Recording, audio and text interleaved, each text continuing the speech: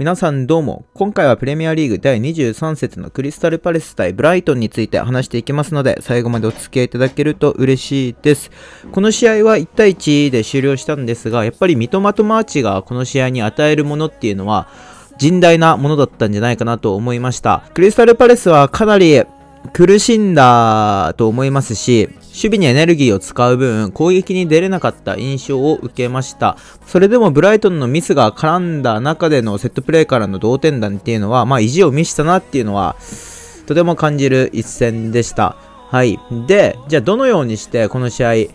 ブライトンがボールを保持し続けていたのかっていうことについてを話していこうと思うんですけど、えー、前半の展開っていうのは、このエストゥピニャンとフェルトマンがかなり内側に絞ってプレーをすることが多くなっていました。えー、これはクリスタルパレスの陣形を中央に寄せることが目的だったのかなと思います。まあ、だからサイドバックのえっ、ー、と、担当っていうのが、こういう風にセットでなされていて、まあ、シュルプとオリーズがヘストピニャンとフェルトマンについていくことが多くなっていたので、えー、だからセンターバックのダンクとウェブスターっていうのが、このミトマトマーチ、ウィングの選手へのこの斜めのパスっていうのが打ち込みやすい状況になっていたのかなと思いました。でなおかつ、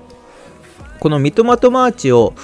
うまく前向きの状態で持たせるために、エストピニャンとフェルトマンがグーって入ってくることが多くなっていて、で、ここのオリーズだったりシュルプ、サイドハーフの選手の高さまで降りてくることで、まあ、三笘がこのクラインとの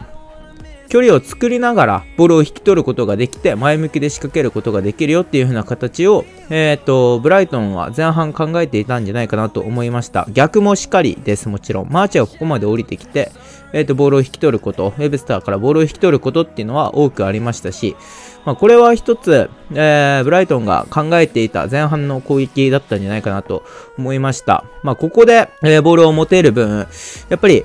周りを使って攻撃を仕掛けることは、三笘もマーチもできますし、マカリスターもしっかり絡みながら、で、エストピニャンもしっかり絡んでくるので、まあ、特にこのエストピニャンの動きっていうのがとてもとても良くて、三笘がここでボール持つと、ほとんどの確率でここのインナーラップを仕掛けてくれるおかげで、まあ、トムキンスを引っ張り出して、ま、ここのクラインとの純粋な1対1を、えー、作り出してあげるような作業をエストゥピニャンは本当に何回も行ってくれるので、三笘はとてもやりやりやすいんじゃないかなと、プレイしやすいんじゃないかなと思いながら見ていました、この試合も。だから三笘が解放されるのっていうのは、やっぱりエストゥピニャンの働きが大きいですし、まあ、マカリスタのこういう動きもとてもとても多いですし、まあ、エストピニャンがこういう風に上がった時にマカリスタがちゃんとここで、えっ、ー、と、ネガトラのところでしっかりと担保をしてくれるので、えー、三笘は存分にその力を発揮できるんじゃないかなと思いました。まあ、基本的に、えー、左サイドっていうのは三笘が幅を取りながらエストピニャンが上がってマカリスターがこういう風に降りてくるような形が多く見られる攻撃の方法なんですけど、えー、右サイドは結構入れ替わりが多くなっています。グロスはここに降りてきて、フェルトマンここに入ってくることもありましたし、このマーチが、えー、入ってきて、フェルトマンが外側に出るっていう形も多く見られました。まあ、どっちかっていうと、右は割と入れ替わりが多い中で、えー、相手のギャップだったり、まあ、プレスを呼び込んで、えー、段差を作ってそこに差し込んでいくよっていうのが前半の戦い方だったんじゃないかなと思います。で、その中でやっぱカイセドがいることによって、アンカーの立ち位置で、えー、プレーをすることができるんで、まあ、ここのダンク、ウェブスター、カイセドで、マテタとアウェイに対して、えー、数的優位を作りながら、えー、攻撃を仕掛けていきます。まあ、基本的には中央経由が難しいんですけど、このウェブスターとダンクが、いかんせんこの三笘とマーチへのパスっていうのをストレスなく出せる分、やっぱり、マテタとかアイェウは、このセンターバックにプレスをかけたくなってくるんですけど、その時にカイセドがボールを受けると、ここの中央でカイセドがボールを受けた時は一気に、えー、スピードが上がっている印象を受けました。まあ、マカリスターがいることによって彼がこのライン間で受ける動きっていうのはとてもとても上手なんで、えっ、ー、と何度かあったシーンなんですけど、マカリスター、カイセドがここでボールを持った時にマカリスターがボールを引き取って、で、そこからウンダフはこうやって抜けて、えっ、ー、と、シュートを打つとかっていうのもありましたし、まあ、このカイスダがボールを受けた時に、縦縦と、あともう一つ、こういう斜めの横断をしていくことで、スピードアップして攻撃を完結させていくよっていうのが前半多く見られた、えー、と攻撃だったのかなと思いました。まあ、エストピニャンのゴールはオフサイドになっちゃいましたけど、やっぱりそれも全ては絡みながら、エストピニャンがこういう風に上がってくることで、えっ、ー、と、生まれたゴールですし、マカリスターとかマーチがしっかりと絡みながら、えー、攻撃を仕掛けることができていたんじゃないかなと思いました。はい。で、後半になって、えっ、ー、と、若干、ブライトンは攻撃の方法を変えています。じゃあ、どのように変えたかっていうと、それがエストピニャンとか、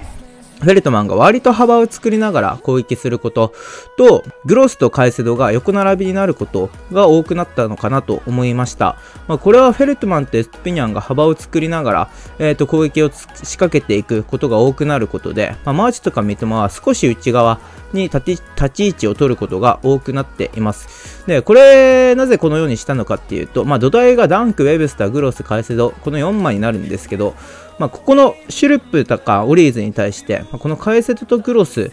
がこの門の先、もしくは門の手前に立つことで、まあ、数的優位の状況、ここで数的優位の状況を作り出していました。ここですね。で、この数的優位の状況を作り出すと、やっぱ合わせていきたいのは、ブライトン側で、まあ、例えばヒューズがここまで出てくれば、フェルトマンにまで、えー、っと、ずれることができますし、まあ、このような形で、えっ、と、相手の守備を無理やり引っ張り出すっていうのが、えー、前半と違った方法かなと僕は見ていて思いました。そして、これを行ったことで大きく変わったことが、このダンクだったりウェブスター、彼らの持ち出しが多くなったのかなと、えー、と思います。で、これなんでそれができるようになったかっていうと、この持ち出しができるようになったかっていうと、えっと、解説とグロスがここにいることによって、このドゥクレだったり、えっと、まあ、まずエストペニャンが上がることでオリーズを押し下げることができますし、ね、カイセドでドゥクレだったりを、えっと、引っ張り出すこと、ま、もしくはアウェイがカイセドについていると、まあ、ここで止めてくれているので、ダンクが、えっと、持ち出すことっていうのができます。そうすると、ドゥクレが、えっと、出てきてしまう。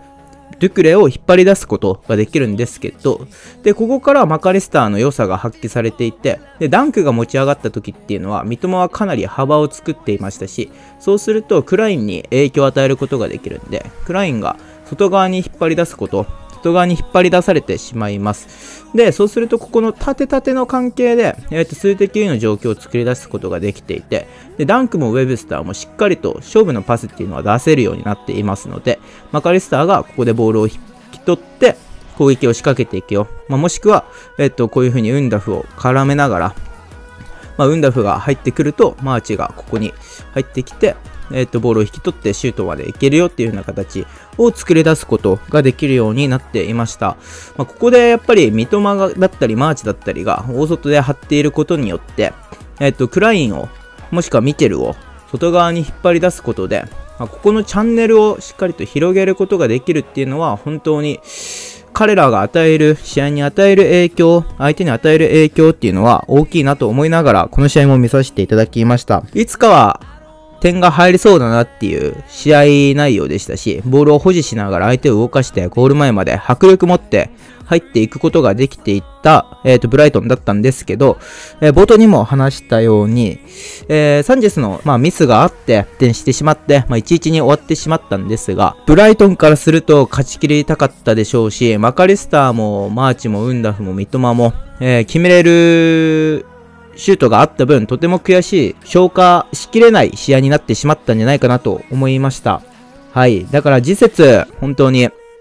この悔しさ、消化しきれなかったものをバネに、えー、しっかりと勝ち切ってほしいなと思います。はい。えー、ざっと振り返りましたが、ここまでご視聴ありがとうございました。チャンネル登録と高評価していただけると嬉しいです。ではまた次の動画でお会いしましょう。バイバーイ。